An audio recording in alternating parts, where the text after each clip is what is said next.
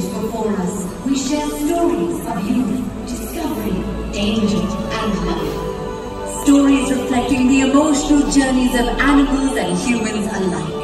For we are of one heart, sharing the same air, the same water, the same earth. These stories remind us of the powerful bond between all living things, illuminating our understanding of the world around us, and forever uniting us in the great circle of life. Oh, how pretty.